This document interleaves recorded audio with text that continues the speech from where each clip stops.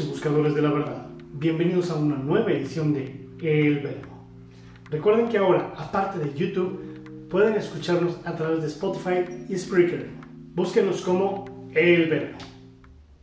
La figura del demonio de la tradición cristiana se ha terminado convirtiendo en una figura casi parodiable, que no corresponde para nada y exactamente con lo que dice la Biblia, la cual cita a Satanás unas 36 veces y al diablo unas 33 veces aproximadamente.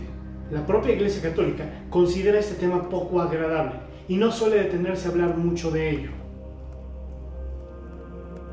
La palabra demonio o daemon procede del griego demon, que significa genio, un ser sobrenatural, descrito como algo que no es humano y que usualmente resulta malévolo.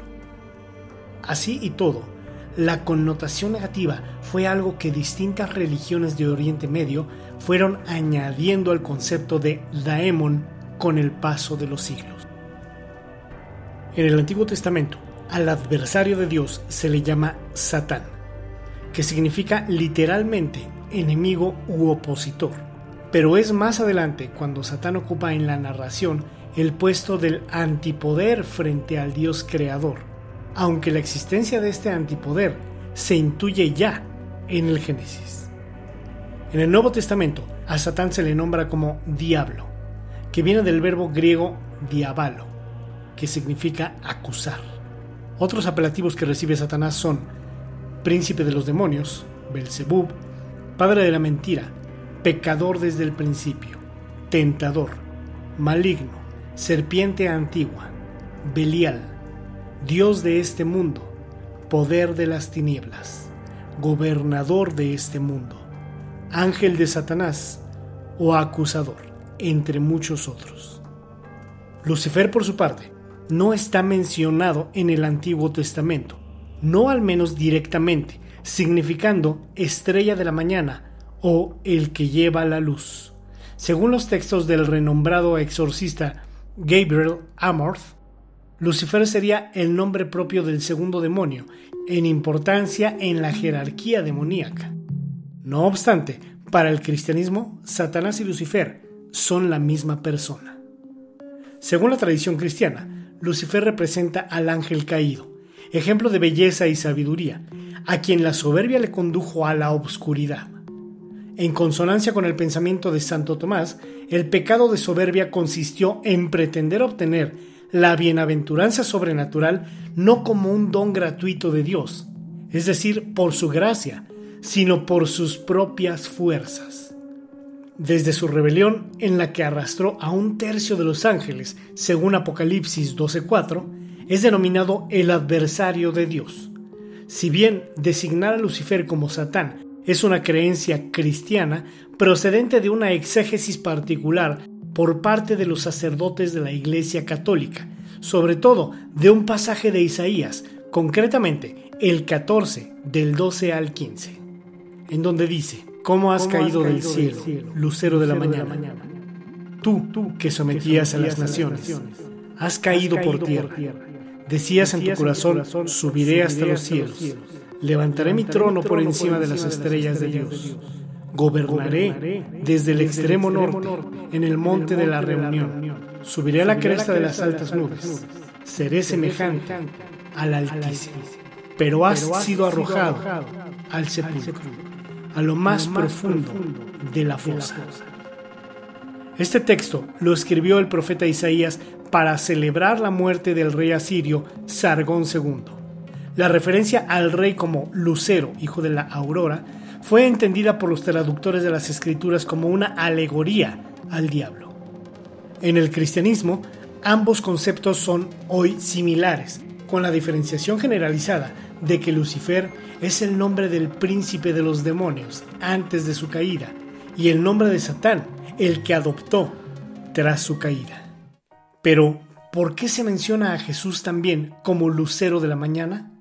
Jesús es mencionado en varios versículos como la estrella o el lucero de la mañana, como así sucede en Apocalipsis 22:16, en donde dice, Yo, Jesús, soy la raíz y el linaje de David, la estrella resplandeciente de la mañana. Pero todo se debe a una reinterpretación posterior, cuando los autores cristianos del final del siglo I o del primer cuarto del siglo II emplearon lucero de la mañana. Aún no se había asociado ese sintagma con el diablo.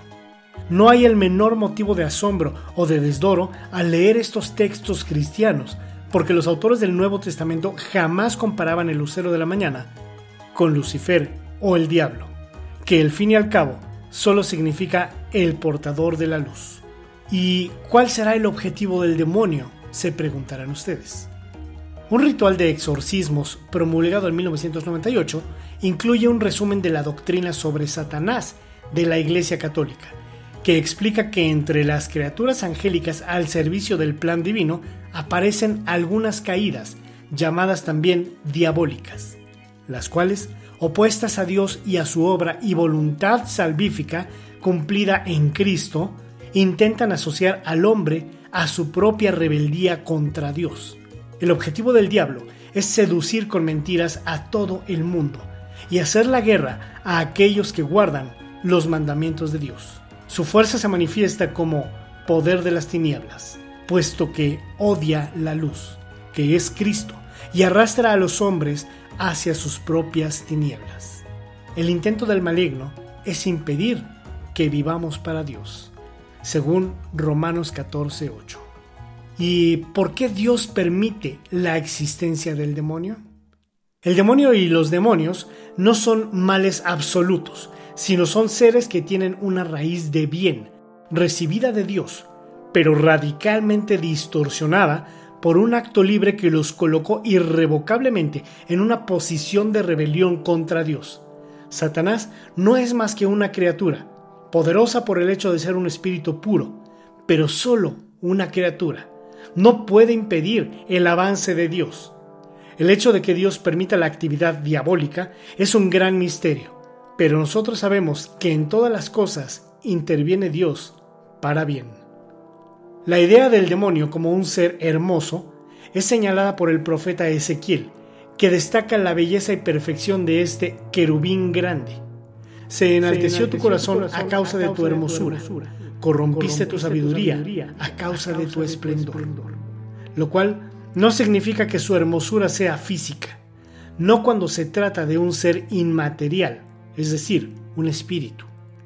Para la religión cristiana, su forma es la de un espíritu que en la filosofía griega, luego heredada por los cristianos, se traduce como un ser que no depende de la materia, ni en su existencia, ni en su actuación. La vinculación de Satanás con el macho cabrío, cuernos y rabo incluidos, deriva probablemente de que la cabra solía ser un símbolo de fertilidad y perversión en la antigüedad. Sin ir más lejos, una deidad adorada en la antigua Babilonia llamada Baphomet era representada con una cabeza barbada y con pequeños cuernos. Y lo mismo ocurre con el dios Pan de la mitología griega o con los faunos en la mitología romana. Asimismo, la cabra es una forma de confrontación con la idea del Cordero de Dios. Eso sin olvidar que los demonios adoptan diferentes formas del animal en la Biblia. Langostas, osos, escorpiones, dragones, leones, a lo que se suma la larga lista de animales tenidos por demoníacos a lo largo de los siglos. Gatos, serpientes, dragones, moscas, cabras, búhos, ratas, gallos, etc.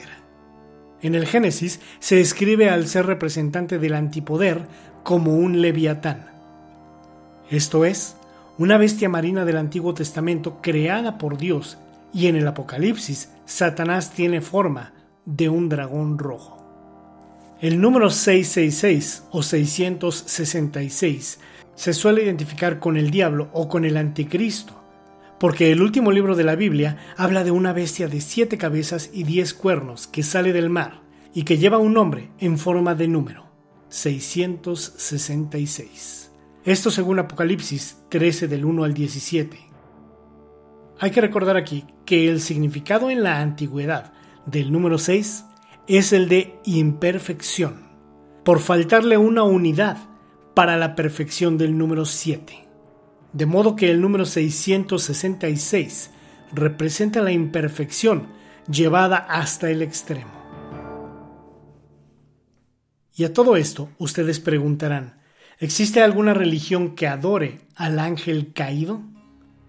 El yazidismo es una religión del Oriente Medio que se remonta al año 2000 a.C. y que cuenta con cerca de 700.000 miembros, la mayoría en Irak. Este credo adora a Malak Taus, el ángel caído que dirige a los arcángeles y a menudo está representado por un pavo real, lo que le ha valido la vinculación por los cristianos y musulmanes con Satanás o Lucifer. No en vano, la veneración hacia Malak Taus que nació de la iluminación del Ser Supremo, sigue siendo motivo de muchos interrogantes, dada la personalidad rebelde, orgullosa e incluso tiránica de este ángel. En conclusión, existen muchos mitos sobre quién es Satanás y quién es Lucifer. Y aún entre los conocedores estudiosos de la Biblia y los doctos de teología, existen acalorados debates entre si son o no la misma persona. Lo que sí es un hecho es lo siguiente. Así como la oscuridad es la ausencia de luz o el frío es la ausencia de calor, el mal es la ausencia del bien y el creador es el digno representante de todo lo que es el bien. Dios no creó a los ángeles caídos o a los demonios. Dios solamente creó ángeles y ellos tuvieron la elección de convertirse en demonios al seguir el camino del mal. O mejor dicho, caminar hacia el lado de la ausencia de Dios. Bien amigos y buscadores de la verdad, realmente agradezco el tiempo que han dedicado en ver este video, el cual les pido compartan en sus redes sociales para que otros buscadores de la verdad la encuentren. Si te gustó mi contenido, regálame un buen like y suscríbete a mi canal. Recuerda hacer clic en la campanita de abajo para que te llegue una breve notificación cada vez que suba un nuevo e interesante video. Por cierto, no olvides visitar la página web oficial de El Verbo, www.elverbo.org, en donde encontrarás excelentes artículos de lectura exclusivos para buscadores de la verdad. No lo olvides, elverbo.org. Les deseo mucha luz y que en verdad sean libres. Gracias y hasta la próxima.